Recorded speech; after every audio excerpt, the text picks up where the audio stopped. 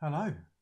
Great to have you back uh, to this regular live here on my YouTube channel. Uh, if you are just tuning in right now, it's your first one. Basically, it's your chance to ask me some of your money questions, your finance questions. If I can answer, I will. Uh, I've also got a question for you this week as well, uh, and that is I want to know when you last went into a actual bank branch and why. And that's off the back of news that loads more bank branches, 44 bank branches from Lloyds and Halifax are going to be closing uh, later this year, and there's already been a couple of hundred announced from other banks. So loads of that going on. So yeah, let me know, and I'll probably give another shout out to that in a minute when we've got a few more people watching. Often these things you're asking me about current accounts and savings and credit cards. Happy to answer all that stuff. Quick heads up of some of the other content I have been producing uh, over the last week since our last get together. I've shared a little trick how you can get uh, O2 priority rewards. Uh, get that even if you're not on O2. So we can talk more about that. Explain more if you've got questions about that. A lot of stuff about the Flexi Rail season tickets. They're now finally on sale. So we have a, sense of how much tickets are going to cost. So I can talk more about that article as well. And pretty much anything else you want to want to talk about. So yeah, just fire your questions away just to say hello, um, and we can get started on that stuff. Hopefully, this is uh, coming through to you on YouTube as well. I can see I've got people there. So I'll do say hello if you're watching um, on whichever way it is that you are you're doing this. So I think the the live on Instagram is Instagram's a blooming nightmare. I'm to do it again. I think that has isn't working. So let's go live straight away. Right now, it's probably working. So that will make sense, won't it? Sorry to you guys on YouTube, on Facebook. It's always a nightmare with this. Um, right, hello, welcome again. So I'm a quick hello. I recap that for those of you who just joined on Instagram. It's always a nightmare getting that started. Don't know why. Uh, do say hello. Do let me know who you are. And uh, a question for you this week: When did you last go into a uh, bank branch and why? Let me know. Now, I did a sort of survey uh, for this very, very, very recently on YouTube. So let me get an idea of what you guys said, what your feedback was as a community. Um, and I'm quite surprised how many of you actually had have been. Uh, so I've had 173 votes so far, which is great. Thank you so much if you did take part in that. And uh, we've got 6% uh, of people went this week, which is really surprising. 12% went this month. 24% that went this year. 19% went last year. 39% can't remember when they last went to a bank. So yeah, let me know uh, when you last went into one. That'd be great to find out. Um, hello, got loads of you just joining in here. We hello to Referral World, to Sidhu, to Mock, to Gemma, to Sophie, to Road Apple, to Weekend Bakery. Again, any of your questions you've got, just let me know, and I will help you if I can. Now, is it working, guys, on uh, YouTube? Normally, I've got loads of you asking me questions by now. I can see you're watching. I'm not getting any comments coming through. So if you're there, just tell me that it works. That'd be really useful to know.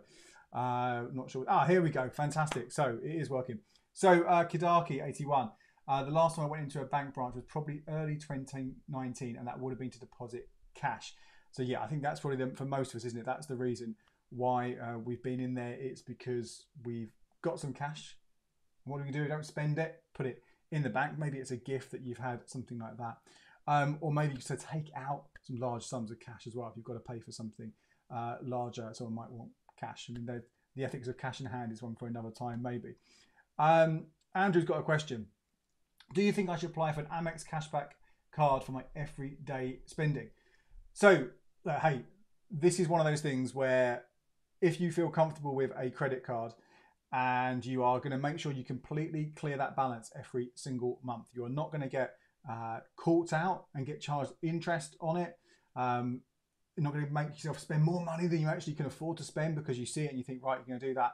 Then, yeah, I think uh, cashback and reward credit cards are a great thing because you're going to earn money for your spending. You're doing this on top of, well, for no effort at all, really. You'll spend money and you'll get a little bit of cash coming back. So, I absolutely think you should have a look at it. You can, as you can with any credit card, do an eligibility check first of all. It's a soft check, so it doesn't appear on your credit report.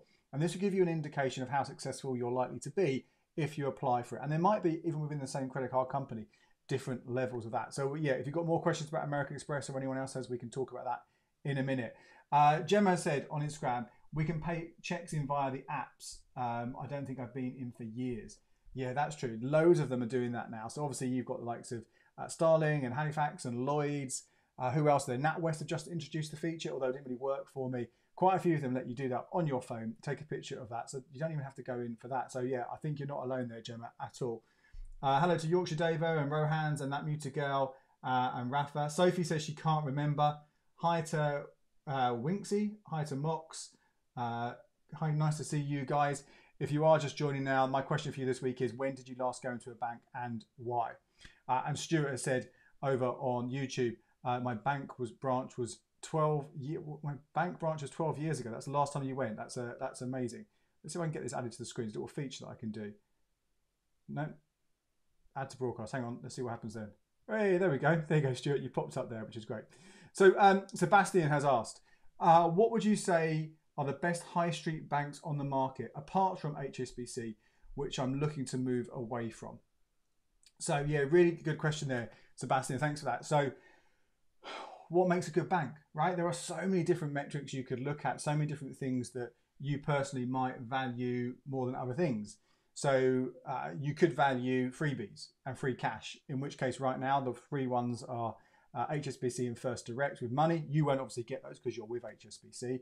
Uh, Virgin Money is giving some free wine, 12 bottles of Virgin wine plus a 50 quid donation. So that's, you, you move your bank and you get a nice upfront freebie there rather than cash sum, but it's definitely worth considering. You might want an ongoing reward. So maybe not that upfront cash, but something that gives you a return every single month. Uh, Halifax Rewards is pretty good for that. You can get £5 every month, or you can get a cinema ticket every month, which could be worth more if your cinema isn't one of the cheapy ones, if it's one of the more expensive, or 24 movie rentals over a year, so two every single month. That can be quite good. There's the Club Lloyds account, which gives you uh, only six cinema tickets a year or 12 movie rentals, so half the amount with Halifax Rewards, but there's less hoops to jump through to get it. Uh, there's a Santander 123 Lite account, which gives you cash back on your bills. Again, you could be looking at 40, 50, 60 quid, maybe more, depending on your size of your bills. And that's great. So if you're after sort of monetary returns, getting something back from your bank, they're really good ones to look at. If you're more concerned about the ethics of your money, then generally you, you want to avoid all the big banks. Uh, HSBC and Barclays particularly have bad reputations in terms of what they're doing with your and other money they have saved and invest with, invested with them. Uh, if you, but then the rest of them are probably in the middle, not doing nothing particularly great either. If you want to go towards the more ethical sort, uh, there is one called Triodos. I've just got my card here. I haven't opened it up yet, but I've got my finally applied for this so I can review it and tell you more about it. That is generally perceived as the most ethical bank out there. It does charge you three pounds a month, but guess what? That's happening because you're paying for the privilege of you know not having the money invested in uh, tobacco or uh, fracking or what arms trade or whatever it might be.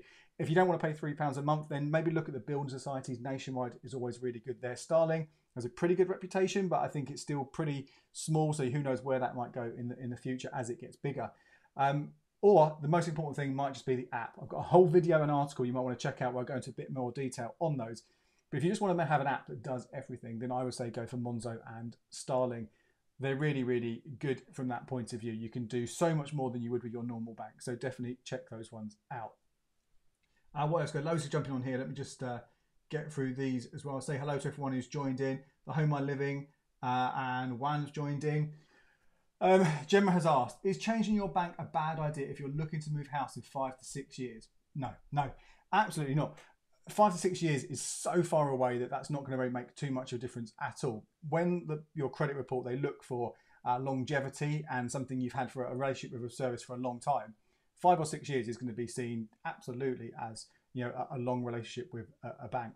Um, and obviously, when you change bank, you don't necessarily have to switch. You don't have to close your old account. You're only doing that if the promotion says uh, you have to uh, switch to, to get that offer. So you can keep that old account open, just have it sitting there not really use it, but it keeps that kind of long relationship going. In terms of applying for a mortgage and also applying for other credit, so you get a credit check because of an overdraft with most current accounts or a credit card or even a mobile phone or switching your energy, whatever it might be. The general sort of thought is there is to avoid any applications six months before you apply for a mortgage. That's often how far back they go when they look at your bank statements, how far back they look at things uh, in terms of your, your credit report. But you might want to go a little bit longer if you're uh, really want to sort of make sure things sort of stay stay pretty strong. But yeah, five to six years away, you're absolutely fine with that. Um, that uh, girl, sorry, the is typing so small that over here I have to sort of lean in to read what the name is. Uh, does not using your credits reduce your credit score over time compared to someone with high usage but low utilization ratio? Um, yeah, I mean, they want to see that you're using these products and you do it responsibly. So, you know, if you haven't, you've had a credit card and not used it for six years or something, then that's not going to be sort of, you know, demonstrated that you've got those payments going in and going out. Um, so you're better to use it a small amount on a regular basis if you can. Uh, in terms of credit utilization, yeah, uh, that's a tricky one, isn't it? Really, there. This is I'm talking about this before on the lives. This is the amount of money you are borrowing compared to how much you can borrow within that sort of broader uh, credit limits across one or, or multiple cards. Um, the suggestion is to try and keep that around that kind of 30% bracket, uh, ideally, and not go too more than that. But then, you know, I'm generally, if I use my American Express credit card for all my spending, I'm generally getting quite high up on uh, towards that limit every single month, and it hasn't really impacted my score. So I wouldn't worry too much about that as long as you're clearing it every month. I think if it's a standing debt and it's there continuously, that becomes a, a bit more of a problem. Uh, hello to Jack and to Cody and to Stripad. Uh, right, back to YouTube. And Christopher says, my last time we went to the bank was this month. Uh, try to go in just to keep the branch open, which is great. So if you, I presume you're using it when you're in there, Christopher, but it's nice to know what kind of things you're doing uh, when you're there. Uh, please turn the sound up. Okay, let's bring the microphone up here a little bit. Hopefully that is helping. If that's better tune, let me know. So uh, Stuart has said, uh, I was a loyal customer to Yorkshire Bank who have been swallowed up by Virgin. Yeah, absolutely. Uh, really thinking of moving banks. Would Monzo work based on my inactivity at a local branch? Thanks for the shout out. Yes, so uh, Yorkshire Bank and Clydesdale Bank, they were already a, a, partnership. They were merged with Virgin, but the Virgin brand is what taking it all over. So Virgin Money has all of those, and you've probably already seen, uh, I have in my high street at least, the, the Yorkshire Bank branch is now a Virgin Money bank. Uh, if you want to move away from them and then you're keen on them, uh, then yeah, I, I, think Monzo is a, is a really good shout. Give it a go. It doesn't cost you anything as long as you go for the free option. I wouldn't suggest looking at the other options, the paid ones. I don't think you get a huge amount for your money. I think you get a lot with the standard Monzo. But as I've said a number of times before, I don't think it's wise for anyone to have a single current account. So I would keep your Virgin Money account open and have that one for savings. You can get 2.02% on the first £1,000 saving there. So have that have a grand if you've got that, or what if you've got sitting in there earning that interest, um, and you've got access to go and get that if you want to. And then Monzo is one that you can use uh, for your everyday spending. In fact, again, loads of content on this already, and we can talk about it more if you want later. Um, but I've got videos and articles. I would have at least three or four different accounts. With Monzo, one of them, Virgin Money can be one of them, and then maybe look at one for getting a reward every month, and maybe one for cashback on your bills. So uh, Cyril has asked, do UK Amex cards transfer points to partners? If so, why do UK YouTubers not talk about this as benefit? So it depends what kind of American Express credit card you have. Some of them are just pure cashback, and the cashback is paid basically to your bill on the 12 month anniversary. So you, after a year, all the money you've earned gets paid and knocked off that final credit card. Obviously, uh, if there's nothing on it, it will be as a credit, so you'd pay more money to, to get it. But that's how that works. Others are points based, and when you get the points, you can use them in a number of different ways. Uh, but generally, these points are worth less. The Amex membership rewards points are normally worth the equivalent of 0.5% cash back, uh, whereas, although it's changing, uh, with the Amex Platinum cards, you can get at the moment 1% going to 0.75% on, on that main one. So you can get more from that. However, as I've spoken about on YouTube before and on the blog, with this gold rewards card, the main one where you can earn those points, uh, you can swap them. In fact, any of those membership, Amex membership points, you can swap them from Amex reward points into Avios points into Nectar points, and that increases their value to about 0.8%. And that actually makes it a pretty strong card compared to a lot of the others. However, the best one out there at the moment, anyway, as long as you're happy with Nectar points, is the Amex Nectar card, where you can get uh, equivalent of two Nectar points for every pound, which works out at 1%. But I will do more on this later on. Uh, Spice Culture said hello. Uh, My Life, uh, Shripad, uh, Patricia, hello. Uh, Rachel, making money simple. Hey, Ryan. Uh, My Life has said, I'm currently looking for a savings account which has a book rather than a card. Do you know any? I already have a nationwide, but I'm close to their protected amount. It's a really good question. Does anyone know the answer to that? Do let us know in the comments. Any uh, savings accounts where you can get a book, a savings book. Um, potentially, I would imagine lots of the building societies might still do that. That was something that they used to do, but I, off the top of my head, I don't know about any others. Um, Simon does investing has said, "Hi Andy, do you know why bank charges an account fee? I remember when I was little, this wasn't a thing. Is it just to get more money from us?" Yeah, so it could well be. So there are a few different uh, banks that do charge a fee, and there's a few reasons they do that. Most of our normal current accounts are free right now. That could obviously change in the future, but that's how they are right now. Um, the ones that are charging a small fee, maybe two or three quid, you are getting, as long as you jump for a few other hoops, so that could be direct debits coming out. I said hoops a bit weird, didn't I? Hoops, uh, two or three direct debits coming out, or whatever it might be, you'll get some money back. So you'll pay four pounds, but you'll get seven pounds back, which means you're three pounds up, 36 quid for the year. It's not a huge amount of money, and that might not be something you want to move or open the account just to get that. But it's worth taking a look. The next level above that are kind of packaged accounts, they're known as, and that's where it's maybe 13 to 17 quid, maybe more than that, for you to get insurance, uh, travel insurance, car breakdown cover, maybe gadget insurance, things like that. Sometimes they're just for you, sometimes they're for the family, sometimes the travel insurance is Europe, sometimes it's worldwide. Uh, they all have different options. They can work out pretty good value for money if you are uh, often buying all if you're buying all those products but if you're only buying one of them sometimes they can be better just to buy them separately and keep to a, a cheaper bank account with the kind of more fintech operated things so like monzo mentioned the fees they've got there they've got to find a model they've got to generate some income in some way so they're trying to sort of charge tiers for extra features now in the top tier uh, similarly with curve and revolut and other places you do get those insurance packages uh, with a Monzo, though, their middle one, uh, which is Monzo Plus, which is £5 a month, you just get extra features, which are not too bad. You get disposable virtual debit cards, things like that. I just don't think they're worth five pounds a month. It could be in the future, particularly uh, if you know banks want to try and uh, if they want to make it harder for banks to make money through things like overdrafts. Obviously, that didn't quite work. Overdraft rates have jumped up a huge amount. But if banks do need to kind of get money from us, you could see the end of free accounts. It lots of other countries, America, apparently lots of Europe, you will pay every single month to have a current account. Um, so what we got here? Uh, oh, the sound's better. Sorry about that, guys. It's new setup. You can see I didn't do any shopping at Amazon Prime, but I did buy a new bookcase, which I've got behind me, which now means I can uh, do this from my desk rather than elsewhere. Uh, so uh, I didn't get the mic properly set up. Um, MC has asked, is there a minimum amount of time I need to have an account before switching and getting a current account switching bonus? It depends on the bank. It really does. They all have different um, terms and conditions. Some of them, as soon as you've got that cash bonus, you can go. Some of them will make you wait three months to get that cash bonus. Um, and others might explicitly say you have to keep it open. So that's what you need to look at uh, in terms of that. Doing that, I think that answers the question. Yeah, okay. Uh, what's wow? Okay, here's a here's a question. Donald, what is the best thing to do with 100k but just for 18 months? So this is the kind of thing that often happens if someone's maybe got an inheritance or they've moved house, sold a house, and they haven't bought the new house just yet.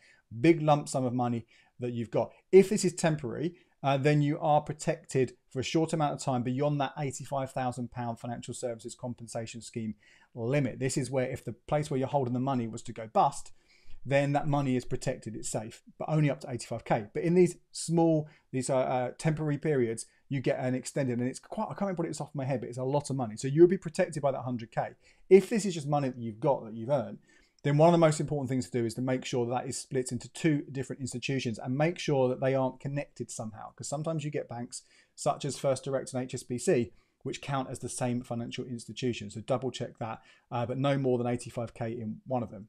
Um, then what do you do with the rest of it? Now, if it's a short amount of time, you probably don't want to be looking to invest it because there is the risk that if you want need to use that money, that value could have gone down in that time. So you are looking at savings accounts, and you will know this. The rates are pretty poor right now. You could put 10k in a chip plus one account. Spoken a lot about this. I won't go into detail now. Check out the videos I've got on YouTube or the article over on the blog where I review this. In fact, if you type chip plus one review into Google, my review is top or second, something like that. Uh, 10k in there, you'll get after the fee that's factored in about 1.06% back on that, which doesn't sound like a lot, but that's the best you're going to get. Then maybe for the next 50, because that's the, the most you can put in premium bonds, maybe it's putting it in there. It's easy access. The more money you have in there, the more likely you are to win. And with the average rate of luck, uh, with that one, I think you'll be approaching nearly 1% uh, return on that as well. So that would hopefully give you as close to 1% as you can on 60k. After that, the extra 40, well, you're probably looking at, actually, you've got 18 months. If you're happy to lock it away, there are some one year fixes are around the 1% mark. It seems to be going up and down on a kind of every other day basis. Maybe it's just above one, maybe just below one. Um, you can lock it away for a year. Now, obviously, that money is locked away. You can't get it in that 12 months. You get a longer rate. There are 18 month fixes as well. Um, but obviously, if rates do drop, jump up everywhere else, then you're stuck in at that rate. But that's a risk you might want to take. Uh, so hope that's helped. They're kind of with that large amount of money. That that's what I would do. But, but absolutely make sure if it's not a temporary amount of cash that you are uh, spreading it in case you know you, you lost uh, the bank went bust. Um, let's jump back over to here, going really quick over here. So we have got from Mock any preferences between the Nationwide Flex Direct and the Virgin Money M Plus current account. Now these are the two accounts which you can anyone can get. You can just open them up. You don't have to switch into them, um, and you can get interest uh, of around two percent on the first amount of money you have in there. Should actually say with the Nationwide Flex Direct account, you can only get this the first time. So if you had it in the past, you won't get this introductory rate, which is fixed for one year at uh, two uh, percent on the first one and a half grand. So you get a fixed amount, it can't change, and you get more money than the Virgin one. As we mentioned, it's 2.02%, but that is variable on the first grand. Um, however, what I would say is because you can only get that Nationwide Flex Direct account once, you're looking at a very, very small amount of money 30 quid um, over the year. You'll get, you open that account now. If they keep those terms and conditions, and in two that you can only have it once for that first year, and in two years' time, suddenly they're offering five percent or whatever it might be on uh, five grand, which is what it, or two and a half grand, which is what it used to be, then you're losing out on that money. So I would give that one a miss. I would leave that for now. Uh, but I would look at the, the Virgin Money M Plus account, and you can have more than one of these. Again, some people watching have said they've had 10, 12, 13. I mean, I think the most was 15 different of these accounts. So that's 15 grand saved. So you could do that, but that's a lot of effort to open up all those different accounts just for, for you know, 20 quid a year. But it's worth considering, absolutely. Uh, in terms of the app, I'm not a big fan of the Nationwide app. The Virgin app is all right as well. As much, it's probably better, uh, a lot better in fact, but they all are pros and cons with them. Uh, hi to Flat, hi to Sally, hi to Sam, hi to Archove, hi to Rochelle, hi to Andy. Uh, let's go back to got a load of these coming here over on YouTube as well. So we have got uh, Stephen says, Andy, thanks for your advice, really helping me. Stuart says, thanks for your advice. Um, by the way, guys, if you've just joined and you're tuning in now, my question for you this week, let me know when you last went into a bank branch and why you did it as well. And that's off the back of the news that Halifax and Lloyds are closing 44 branches this year which follows on from announcements from Santander and HSBC at the start of the year of another couple of hundred or so banks going. So repeating this year after year, this is always happening. But keen to know uh, if you when you last went and why you last went into one. So uh, three S34 NCL. Uh, can I ask how taking a consolidation loan to pay off credit cards affects your credit score? So if you're taking out a loan, uh, any kind of loan, whether it's to consolidate debts or just because you I know you, you need some money towards um, some urgent repairs to the roof or whatever it might be.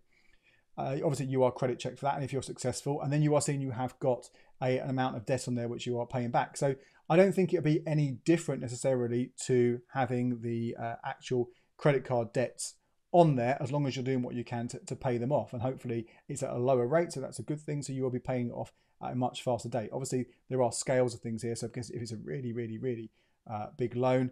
Uh, that's not going to look great for you, but at the same time, you're just transferring that that debt over, aren't you? So I don't think it would be a, a huge problem there. Uh, Jack has said the stream doesn't seem to work via Facebook. Top quality via YouTube. Thank you. Facebook has been a nightmare on this for a while, so thanks for letting me know that wasn't coming through. So uh, Carty has said, "Hey, evening, Andy. I recently got a one two three mini current account from Santander for under 18s. Do you reckon it's a decent bank for individuals under 18 or are there better banks offering better perks? So I haven't had a look at a while at the kids' current accounts and I need to sort of do an update on this one. Uh, generally, the under 18 ones, they're all much of muchness. You want to look for, ideally, I guess, the ones with the best interest rate. They're the big perks you get. It's not like when I was little and NatWest had all the collection of pigs. The more money you saved, you got a different piggy bank. I never got off the baby one, I don't think, for whatever reason, uh, which is unusual because I used to save a lot. Maybe, maybe you need a lot of money. I can't remember. Uh, so I would say if you're happy with that one, then stick with that one for now. If you're going to university at 18, that's when you want to be looking at all the different options. There are freebies that come into play there. Less so last year during the pandemic, but in previous years, there was free cash, free rail cards, things like that. But possibly the one that's going to be most important to people if they're students going to uni is the size of that interest free overdraft. Uh, and they that varies depending on the bank and also different ways you get it. Sometimes it's the same amount every term, same amount every year. Sometimes it tapers up or tapers down. Uh, so that's one of the things to, to think about there. Uh, Christopher says the Building Society has a book account. Is that which one is that one, Christopher? Which Building Society, or are you saying all, all of them? Uh, Christopher Jacks has said if you have dual fuel with an energy provider and then decide to move just electricity to a different provider, do you know if your plan for gas will be affected? Well, potentially, yeah. So a lot of the time when you get dual fuel, you're getting your gas and electricity from the same supplier. There will be a discount for doing that. Uh, so have a look and see what goes on. So if you move one fuel away, it might be you lose that discount that, that's given for, for both fuels. Um, you also need to make sure if you're fixed in them, obviously, if you've got a joint switch at the same time and they're both fixed, there'll be a penalty to leave. If you're out of contract on both of them, then I would suggest you switch and move both of them at the same time and get yourself uh, onto a lower fee, particularly as, and it's been reported quite heavily this week. I know Martin Lewis, a money saving expert, did a big thing on this.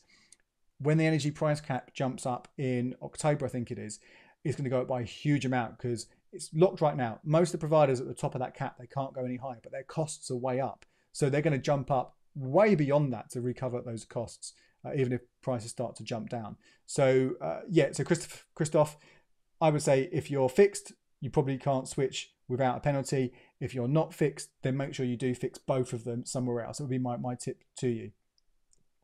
Uh, Kian has asked, do I do any property investment? No, I don't. I've got the house that I'm in right now, and that obviously is, is partly an investment as well, but I don't do any broader, I don't have any other properties at all. So, uh, FI Kung, really struggling with what credit card to get, Tesco's or Amazon. So, this is a really uh, a popular question asked me, what's the best credit card? Uh, as I say, I'll repeat myself. I don't mind repeating myself on this one because it's a really good message to get through to everyone. You just need to make sure that you are uh, doing those eligibility checkers first of all, and you've got a good chance of being accepted on both of them. If it's equal, then great. If one of them has a better chance than the other, then go for the one that gives you the best chance. Um, if you're looking at these ones because you shop regularly with Tesco or Amazon, then you want to weigh up what those additional points are worth. The Amazon card, uh, if you're a Prime member, does give you roughly one and a half percent back on Prime on Amazon purchases, which you can't beat. It's very difficult to beat that. Not so great elsewhere. Uh, the Tesco one isn't particularly good in terms of points back from club card points. You get a few more, but you don't get much elsewhere. Again, I've got whole articles and videos which go through the best kind of reward cards that are out there. If that's why you're going for it, I assume that's why you're doing it. Uh, my life said she went to the bank yesterday to change some money and check the transaction. So you're using it, Rochelle. Uh, I went to HSBC on Tuesday to change the name on my account. Uh, so yeah, this is great. So you are still using them, which is really interesting. Sorry if I'm not saying hello to some of you guys who have joined in subsequently. Uh, the Instagram one does move really, really fast. Um, back over here, uh, Richard has said last time I went to a bank was September last year to pay in a check. Never have any other needs to use a branch, especially as I can now pay in via the First Direct app. Yeah, I mean First Direct uh, we talk about Monzo and Starling as being you know app based and not having a branch. First Direct hasn't had a branch since inception. It started off as a telephone bank, although you can use HSBC uh, branches. Um, MC has asked, uh, is it okay to open an account just to switch later for a switching bonus? Oh, 100%. Absolutely. I've basically got a switching account, which I don't use. I just switch that again and again and again to get the promotions. Uh, the one I would suggest you look at for this is a TSB spend and save account. I haven't checked the cashback rate recently, but via Quidco, you can get between 30 and 60 quid. It varies week to week. For opening this account, you have to keep it for about four months uh, before you can switch it if you want to get that cashback. Forget the spend and save cashback that it comes with. That's a joke. But do that switch, um, get that account, four months later, switch it to another account, and then switch and switch and switch. I do that all the time, so there's no problem doing that. Uh, Kukurga has said, if a bank uh, allows you an overdraft. Does it have a positive effect on your credit report? Uh, probably not, I would imagine, because um, you've got more access to cash, which is very expensive credit.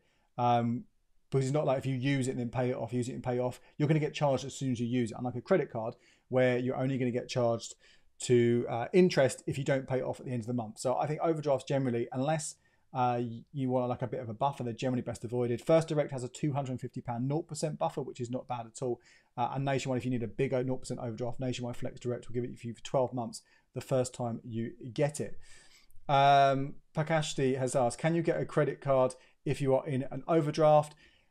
Maybe. It all depends about your credit report. You can be in your overdraft, but have some other great sort of uh, elements and strong elements within your credit report uh, the really most important thing here is to go to your credit report, check it. There are three of these. Again, videos on the YouTube channel. articles on the blog which take you through how to do this. You shouldn't pay to check your credit report. Make sure everything's up to speed there. See what you can do to improve it, and then use those eligibility checkers to see if you can get a credit card. Um, there is a thing called a money transfer credit card. This has a fee, a transfer fee attached to it, but this can be a great way to get rid of an overdraft. Uh, at least pay it on a on a 0% period for a while. Again, article on that on the blog you might want to check out if you've got a, a big overdraft already. Uh, we're getting towards the end of our time now, guys. I'll try and work through about another sort of five minutes, work through the questions we've got. Uh, Christopher's come back. The Coventry Building Society has a savings book. So that question we had earlier on, uh, Coventry Building Society would also give you a, a book. So hopefully that will help you uh, who asked earlier on. Hi to uh, Penny Pinching Mank and to Selsheen and to Orbis and to Stuja, um, and Mimi. Um, Rachel said the Santander student account was amazing. Yeah, that's generally had some uh, you know decent uh, options for you. I think that one came with the rail card. Can't remember now, but it's worth thinking about. Uh, Rachel then also said uh, her bank is opposite where we work, but I can't remember the last time she went in. The uh, Carty has said uh, Santander student bank account offers a rail card, so I was right there, and other perks, but demands for £500 annually, I believe. Do you think it's worth it So I'll be primarily tra- travelling via train? So, I mean, £500 annually to be paid into the account is not going to be difficult because you've got your student loan coming in or other kind of costs. You are going to have £500 that comes in uh, for you to pay out again.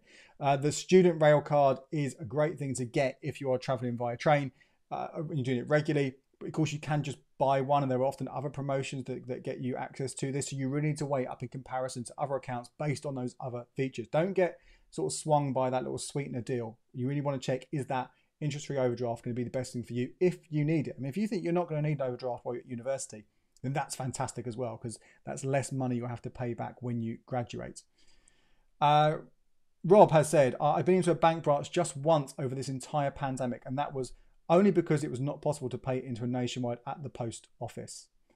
Um, Christoph says, top tips when investigate. Thanks for everything you do. Uh, no problem, Christoph. I'm always happy to help you guys.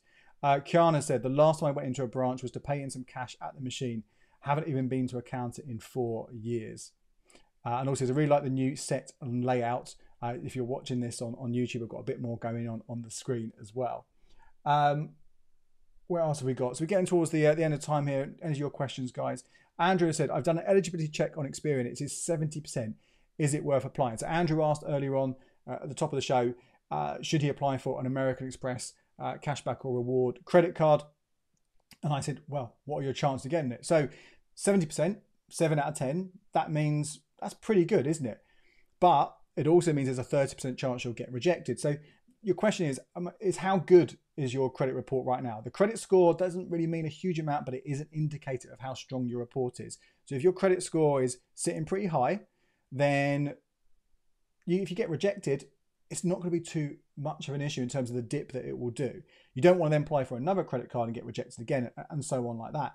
Um, but also, do you need other things coming up in any time soon? Are you remortgaging or getting a mortgage? Do you need a large loan? Anything which is probably more important than this credit card uh, should take priority. So you don't want to maybe put the risk on it. But I would personally, seven out of ten chance, I would fancy my odds. But that's a very personal thing that you have to sort of think up for yourself. Um, and then we've got a question here. Uh, SJ said, went into the bank a while ago to sort out the bank accounts. Again, it's one of those things, isn't it? I, I think they are going to be disappearing more and more and more. We use them less and less and less, but I personally do like to have an account with a bank near me. So if I need to go in and sort something out, I can uh, and have a little bit of the money sort of moved around. Maybe it's in a separate savings account. At least I can move it into you know that branch if for example like we had a few years ago when that tsb debacle when all their accounts went down and let me just check. Hopefully, if I missed anything, guys, I really apologize. I hope I've caught everything that you guys have asked. It's sometimes difficult when there's all these things coming through. I do really love this. The really important thing I want to share with you is uh, next week, this live will be on Wednesday, okay? Wednesday at 6 p.m. So I'm going to try it out on a Wednesday over the summer because I think less of us are going to be sort of watching as much content. So I'm going to maybe move it along uh, so I can maybe have a bit of a breather as well, just to do, do less videos during the week. Uh, so Wednesday at 7 p.m. And don't forget, if you want to make sure you, sorry, at 6 p.m., if you want to get all my videos, uh, all my articles, all my podcast episodes, everything I do, make sure you sign up to my newsletter, becleverwithyourcash.com forward slash newsletter. Put your email address there every Thursday morning. You'll get the best of what I do. Plus, if you've never signed up to the cashback site Quidco before, you'd also get a £17 bonus. So uh, do that. That would be fantastic. So yeah, thank you guys. Thank you so much for joining in. Uh, Rob says thank you for your advice. That's massively appreciated. Yeah, mate, I really appreciate everyone's questions. I, I love doing this with you. Um, oh, one last question. Let's just do this last one because we've got it coming from James. What are your thoughts on banks like HSBC releasing new card designs? Is this to aim their bank at uh, the youth or to challenge banks like Starling? I think it's just a marketing ploy, isn't it? Anything they can think to make their, their customers think they're getting something uh, extra from the bank. Uh, nice card looking cards are nice things to have, but I would never choose a bank based on what the card looks like. Uh, so yeah, it's if you're with HSBC and you want to change your account, then why not? You know, give it a go. Uh, but I wouldn't choose to go with them. In the same way, I wouldn't choose to go with Monzo just because uh, they've got that hot pink coral card or Starling because they've got their mint uh, card. Anyway, that's it. I'm going to finish things off for now, guys. Uh, thank you so much, and I will see you guys again next Wednesday. Okay, cheers.